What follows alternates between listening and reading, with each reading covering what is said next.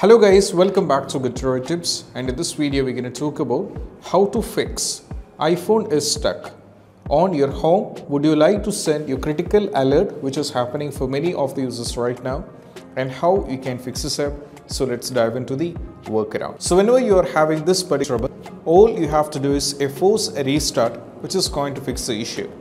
So if you don't know how to do a force restart, I'm going to show you that how to do this up. All you have to do is you just need to press volume up over here followed by volume down. Press and hold the power button unless and until you see the Apple logo. I'm going to show you this. First, let me press volume up followed by volume down. Press and hold the power button unless and until I see the Apple logo and you have to wait and once the force restart is successfully done, most probably the issue regarding this has to be fixed.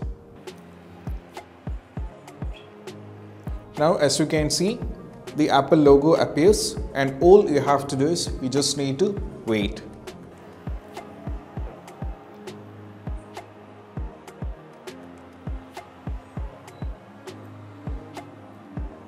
So guys, once it's successfully done, you just have to get in back to your iPhone and most probably the issue will be completely fixed.